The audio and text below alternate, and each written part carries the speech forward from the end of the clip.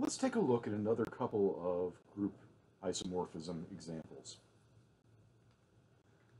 This one's fairly simple, but it actually opens up a whole lot of different things. Any cyclic group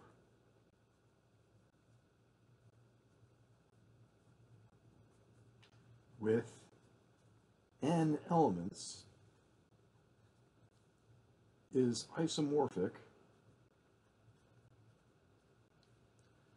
to Zn with addition mod n.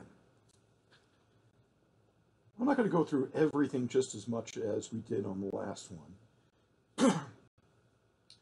let's go ahead and let's just define my function phi going from g to zn by phi of ai equals. A has to be a generator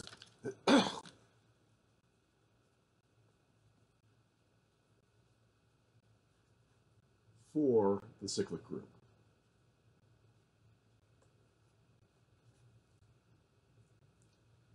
Okay. I'll leave it to you to show that this thing is one-to-one -one and onto. Let's focus on that homomorphism property. So, if I have phi of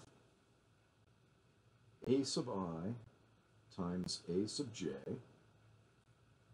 that's going to equal phi of a sub i times, or a sub i plus j. That's going to be i plus j. But that's phi of a sub i times phi of a sub j. Now, I use the times for the generic thing, but remember, that is the operation after we've done the group up the isomorphism. That's the operation of Zn. I could just as easily have written it as plus because we know the operation for Zn is plus. This is really, really handy because this opens up any kind of thing. Any cyclic group with n elements is isomorphic to any other cyclic group with n elements.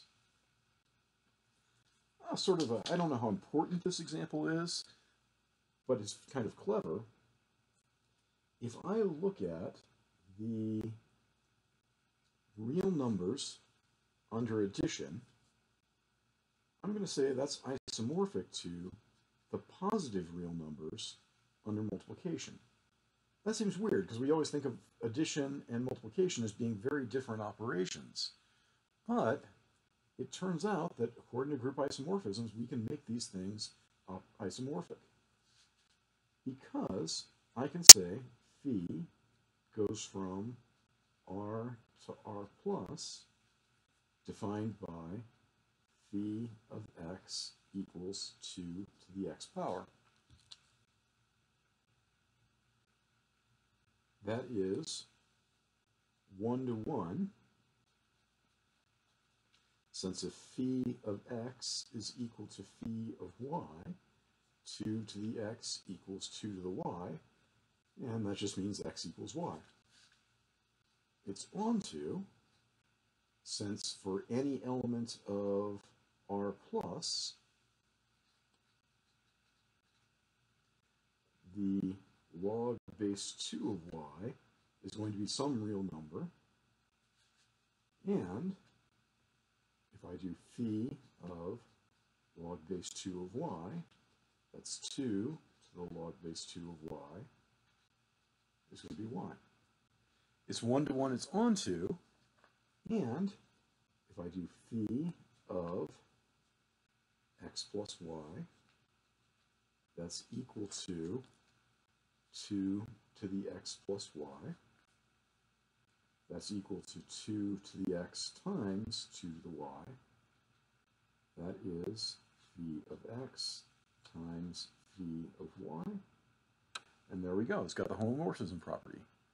So we've defined an operation that's one-to-one -one onto and has the homomorphism property. Therefore, those groups are isomorphic.